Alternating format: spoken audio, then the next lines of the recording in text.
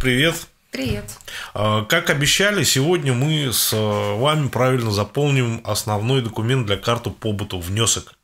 А, наша любимая школа Together предоставляет услуги по заполнению и подготовке документов для подачи в УЖОНТ. Но, а, так как мы закончили оплаченный нами курс и продлевать его не стали, то, обратившись туда с просьбой о помощи подготовке документов, ну там копирование, проверка внеска, получили отказ. С мотивацией, вы уже не наш клиент, поэтому идите лесом. От полицейской школы мы документы не заполняем, копировать мы не будем. Кто вам проверит, мы не знаем, кто вам откопирует, мы не подскажем. И вот, получив от э, них задорного напутственного пинка, мы решили самостоятельно вдумчиво подойти к изучению и решению этого вопроса. Что нашли и как сделали, э, все расскажем, э, друзья, вам.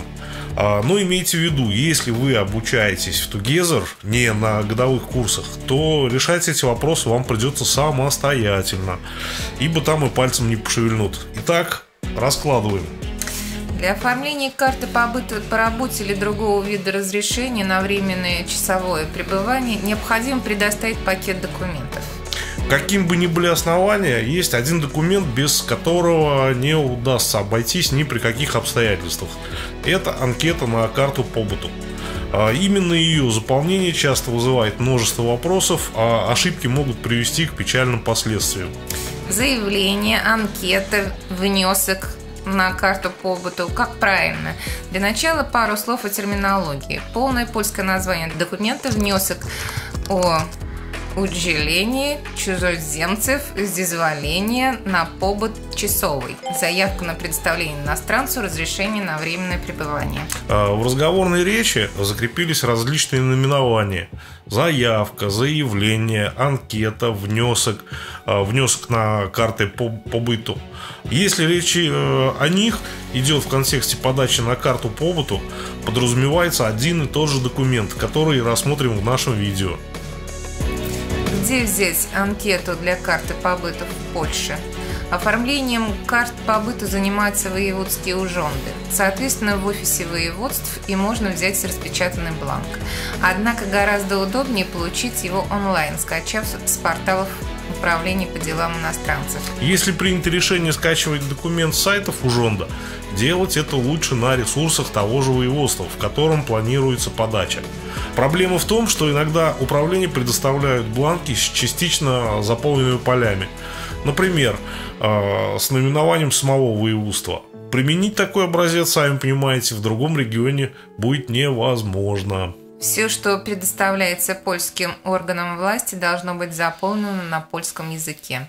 На первый взгляд правило простое и понятное, однако существует несколько очень важных нюансов. Фамилия, имя, отчество э, указывается в соответствии с написанием в загранпаспорте, даже если существует польская интерпретация этих данных. Э, даже если существуют иные официальные документы, в которых эти сведения написаны иначе. Наименование некоторых географических объектов, расположенных за пределами Польши, указывается в латинской транскрипции, но без перевода на польский. Например, Озерная улица будет озерная, а не жи. Езерна. Далее рассмотрим а, подробно каждый пункт а, внеску на карту побыту. Но сначала еще несколько правил заполнения общих для всех случаев. Внося данные в анкету, необходимо строго соблюдать ряд норм, иначе документ может быть признан бракованным, даже при верной информации в нем. Необходимо учитывать. А, на странице 9 и 10, согласно указанной на бланке нумерации, подробно расписаны все правила оформления. Как и весь бланк, а, пояснения даны на четырех аж языках, среди которых есть и русский. Так что если что-то забудется, можно освежить память. Все сведения вносятся большими печатными буквами в рамках выделенных для этого полей. По умолчанию э, заполняются все поля. Исключение рассмотрим далее в пошаговой инструкции. В графе обозначения пола допускается только два символа. В случае мужчин это привычное М, а вот для женщин обязательно указывать К от польского кабета. Указание символов на других языках Ж, В, Ф и так далее не разрешается. Сведения, вызывающие вопросы, лучше не вносить, а добавить в анкету после уточнения в ужонде. Итак, перед нами довольно внушительной толщины анкетка 12 листов, не считая приложения, о которых поговорим отдельно. Пугаться не надо, во-первых, потому что в них очень много вспомогательного текста, а во-вторых, потому что заполнять внесок придется все равно. А, поэтому перейдем к делу. Шапка. Верхняя часть первого листа внеска все до начала нумерованных пунктов. Рассмотрим слева направо, сверху вниз. Печать органа, принимающего заявку. Сами понимаете, это не заполняется, так как вы не принимаете заявку у самого себя. Далее, дата и населенный пункт, где происходит заполнение. А, далее, предупреждение об ознакомлении с инструкцией на страницах 9-10 тоже не заполняется. Фото. Необходимо уточнить у Жунди правила по этому поводу. Нужно ли будет вклеивать фото в анкету или достаточно ее предоставить в пакете документов. Эта норма может отличаться в зависимости от воеводства. Под заголовком документа пункт «для». А, здесь указывается наименование воеводы, которому подается заявление. Обозначаются должность, а не личные параметры. Например, до воеводы Мазовецкого. В последнем поле нет привычных квадратиков для литер, но внести данные все равно нужно читаемыми печатными буквами. Раздел А. Личные данные иностранца. А, далее пункты нумерованы. И мы будем обозначать их в полном соответствии с цифрами в бланке анкеты. Фамилия. Как уже указывалось, здесь и далее ФИО в точном соответствии с паспортом. Предыдущая фамилия. Если она есть, то указывается. И если никогда не менялось, как говорится, повторите пункт 1. Поле не должно оставаться пустым. Родовая фамилия, полученная при рождении, может совпадать с пунктом 2 или с пунктом 1, но должна быть указана однозначно. Здесь проще рассмотреть на примере. А, ну, представим себе девушку, которая родилась с фамилией А. а. Потом она вышла замуж и стала Б. Следом развелась и снова вышла замуж. И сейчас уже носит фамилию В. В этом случае в пункте 1 будет В, в пункте 2 Б, а в пункте 3 А. Но если она э, ни разу не уходила замуж и менял фамилию, то во всех трех э, пунктах будет стоять А. Имя, как в загранпаспорте. Предыдущее имя аналогичное. Имя отца также указывается в соответствии с паспортным написанием, если этот документ существует. В противном случае, в соответствии с правилами транскрипции, относится данное правило и к пункту 7, и к пункту 8. Имя матери. Девичья фамилия матери. Дата рождения. Имеется в виду рождение соискателя. Обозначается в формате 4 цифры года плюс 2 месяца и 2 дня. Пол, как уже говорили ранее, М или К. Место рождения указывается населенный пункт из паспорта, но по-польски. А, страна рождения, национальность, гражданство указывается на момент заполнения. При наличии нескольких паспортов указывается то, по паспорту которого вносятся данные. Семейное положение указывается на польском.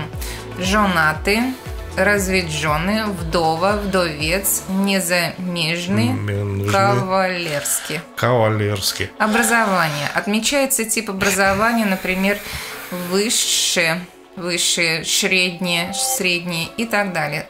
Словесный портрет, краткое описание внешности, рост, цвет глаз, особые приметы. А затем номер налогового идентификатора. В настоящее время обязательный атрибут законного трудоустройства. При отсутствии песель поле не заполняется. Телефон. Указывается действующий номер, так как он может быть использован для связи, оповещения и других контактов. Электронная почта аналогично пункту 19. Раздел Б. Место проживания в Польше. Важно понимать, что речь идет именно о польском месте жительства. Данные могут быть проверены, и в том числе на фактическое проживание. Ложная информация может стать основанием для отказа. Воеводство, населенный пункт, улица, номер дома, номер квартиры, почтовый индекс. А если целью э, анкеты является воссоединение семьи с иностранцем, пока отсутствующим в Польше, перед адресом ставится крестик в соответствующем соответствующем поле, а указывается адрес, где планируется проживание. А ужонт может потребовать документального подтверждения проживания, а, мельдования, договора аренды, а, подтверждения права собственности, как пример. Раздел С. Дополнительная информация. Раздел посвящен информации, непосредственно необходимой для получения карты. Разбит на несколько подразделов, обозначенных римскими цифрами. Заполняются только те поля, которые имеют отношение к ситуации. Остальные остаются пустыми. Цель пребывания. А, здесь указано 16 оснований. Необходимое нужно отметить крестиком. А, в случае отсутствия нужного его можно вписать э, в отдельные стройки внизу, поставив э, крестик в 16 поле. Члены семьи заявителя в специальную табличку вписываются супруги и дети, проживающие с соискателем вместе на территории Польши. По общим правилам обозначаются фамилия, имя, место проживания. Нужно указать разрешение на проживание, подается ли и на него отдельный внесок на карту по быту. Является ли иждивенцем для иностранца-заявителя? Пребывание заявителя в РП. Имеются в виду предыдущие периоды нахождения в стране и основания для них. А. Указать, вписать предыдущие пребывания. Или Б. Обозначить нынешнее нахождение в Польше. Отметьте крестиком, находитесь ли вы в э, Польше в настоящее время. Впишите дату въезда для нынешнего пребывания, пересечения границы. Обозначьте основания для теперешнего нахождения. Без виз, виза, карта по быту, разрешение выдано другой страной Шенгена. Но не стоит забывать, что по законам основания для въезда и основания для карты побыта должны совпадать. При наличии нескольких причин для въезда, либо пребывания – указывайте совпадающие с целью получения карты. Другие зарубежные поездки вне Польши за пять предшествующих лет. Нужно перечислить все иностранные относительные Польши страны, гражданином которой является соискатель перемещения. Данные можно взять из заграничного паспорта. Затем сведения о достаточных денежных средств – Дается общая информация, например, банковский счет, спонсорство, зарплата супруга и так далее. В случае работы указывается заработная плата, к примеру, 2 808 злотых месячно. Наличие страховки. Перечисляются имеющиеся полисы добровольные, через ЗУС, по страхованию супруга и так далее. А, случаи нарушения закона. Вписываются все случаи, зафиксированные правоохранительными органами. А, депортации, запреты, задержания, аресты, случаи лишения свободы, ну и тому подобное. Если они отсутствуют, естественно, пишем «не». Судебное наказание в Польше обозначьте крестиком «нет», либо отметьте «так» и детально опишите произошедшее. А ведутся ли сейчас расследования? Аналогично предыдущему пункту. Имеются ли финансовые обременения? Речь о судебных решениях. Правила такие же, как в случаях 8 и 9. Раздел D. Подпись. Здесь все просто. Подставьте свою подпись, однако она должна совпадать с образцами э, в других документах, а ее размер не должен выходить за пределы предоставленного для этого поля. Последнее важно, ибо при несоблюдении может быть признано ошибочкой. Раздел Е. Заявление. Ознакомьтесь с текстом. Это подтверждение, что предоставленные данные верны, что соискатель предупрежден о последствиях предоставления ложных сведений и так далее. Под текстом поставьте дату и подпись. Приложение к заявке. Это перечень прилагаемых документов. Здесь главное не перепутать эту часть заявления анкеты, э, в которой используется слово приложение – залончники с отдельными документами, бланками с таким же названием, о которых мы поговорим далее. Инструкция. Это те самые правила заполнения страниц 9-10, о которых упоминалось в начале. Не будет лишним еще раз ознакомиться с ними, чтобы убедиться в соблюдении норм и условий. А, служебные аннотации – это достаточно внушительный перечень различных пунктов, а, ни один из которых заявителем не заполняется. Все данные в этом разделе а, вносятся сотрудниками УЖОНДа, причем в различное время. Приложение к бланку заявления. Это уже отдельные бланки, специальные приложения к заявлению. Заполняются только необходимые из них, соответствующие цели получения карты. Залончник от польского залончник. Приложение из-за сложности произношения в разговорной речи нередко превращается в залочник или даже в залончик. Это же организмы. Главное здесь понимать, что речь во всех случаях идет об одном и том же. Утверждены четыре типа приложений. А, залончник номер один заполняется, если целью карты является работа. А это заполняется работодателем. Залончник номер два заполняется с приложением 1, если работа выполняется по профессии, требующей высокой квалификации, так называемая голубая карта. А, залончник номер три специальное дополнение для волонтеров и стажеров. Залончник номер 4 для программ высокой мобильности, научных исследований и прочее. Ну, так как э, нас эти приложения не касаются, ибо мы подаем документы на основании обучения, то в этом видео мы их не рассмотрим. В завершении видео рассмотрим еще несколько вопросов, связанных с темой анкеты для карты по быту и возникающих наиболее часто. А, внес их на карту побыта обязательный документ. А, при этом любая неточность может стать основанием для отказа в карте.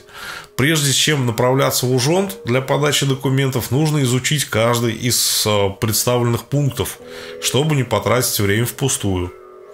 Что делать, если отказали? Под отказом могут пониматься два разных процесса. Отказ в принятии документов и отказ в выдачи карты. В первом случае заявление не принимают изначально, во втором приняли, рассмотрели, но вынесли отрицательное заключение. А, в обоих случаях решение можно, даже нужно обжаловать при непринятии документов в течение 7 дней, а при отказе в течение 14 дней. Подается апелляция на имя руководства управления по делам иностранцев через того же воеводу, что принял отрицательное решение. Мы постарались дать полную и подробную картину, но если какие-то нюансы остались неохваченные, можно задать свой вопрос в комментариях под видео или на нашем телеграм-канале. А у нас наступила весна. Снег, который нас э, немного огорчил невозможностью нормально перемещаться на велосипедах, активно блинтает. Э, дороги подсыхают, и мы начали активно эксплуатировать своих осликов. Так что совсем скоро будут видео о красавице Варшаве, ну и не только. А на прошедшей неделе мы отправили документы в Ужон.